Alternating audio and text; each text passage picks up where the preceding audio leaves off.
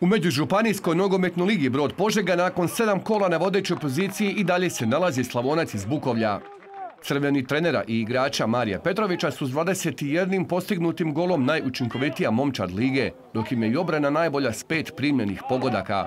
Iza njih na dva za ostatka su svačeći starog slatnika i Sibinska mladost, koja će u sutrašnjem osmom kolu na gostovanje u Donje Andrijevce kod Tomislava.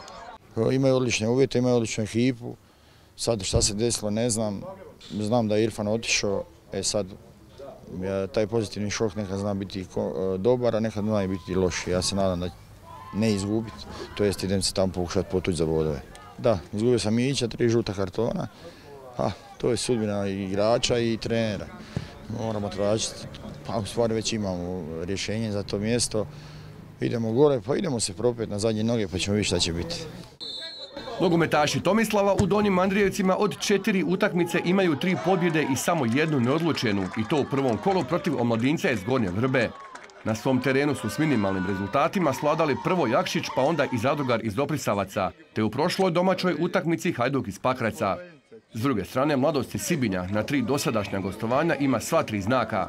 Tako je pobjeda izborena u Gornjoj Vrbi, neodlučeno u Jakšiću i poraz u Opristavcima. Za mladosti sutra na redu četvrto gostovanje u ovoj sezoni i to u Donjim Andrijevcima. Da, iduće kolo su Tomislav sigurno jedna dobra iskusna ekipa, ekipa koju, koju poznajemo, nema tu nekih nepoznanica između jednih i drugih. Promijenili su trenera, sigurno su dečki ovaj sad željni dokazivanja, to im je motiv više, a mi idemo odigrati. Kako znamo što najbolje, mislim da imamo jedan izostanak e, Mića. Evo sad je došao Brnić igrač više, to sigurno ovaj, nama, nama prednost velika, krpamo se iz kola u kolo kako mi vjerujem tako i ostale ekipe i nema, nema žalbe na to.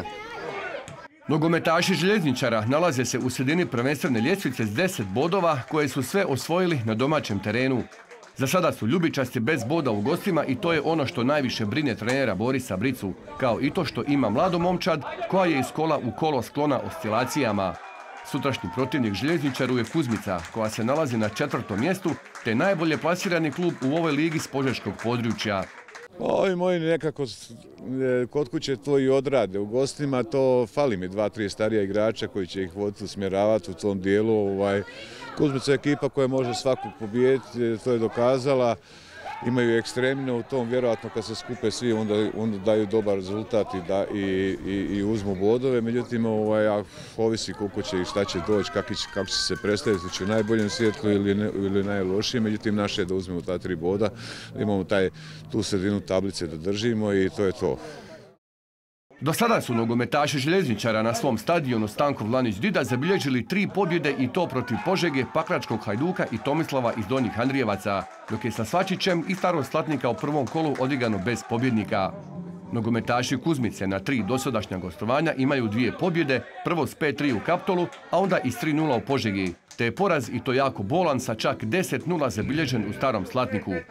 Ljubičasti sutra protiv Kuzmice žele nastaviti uspješan niz dobrih rezultata na domaćem terenu. Jesmo favoriti, ali ponavljam, mlada smo ekipa, tako da kako nas pogodi dan, tako će utakmica i biti. Kuzmica je dobra ekipa, trenutno su najbolji od spožeške strane. Očekujemo jednu čvrstu, tvrdu utakmicu i nadam se našoj pobjedi na kraju. Ponavljam, nadam se da možemo, zavisi samo od nas kako ćemo krenuti utakmicu, kako će se otvoriti, a onda na kraju se nadam na našoj pobjedi i tri boda da ostane na livadi. U preostalim sutrašnjim utakmicama osmog kola među Županijske nogometne lige Brod Požega od 15.30 još će Svačić u Starom Slatniku ugostiti Kaptol, a Zadrugar u Oprisavcima Lipik.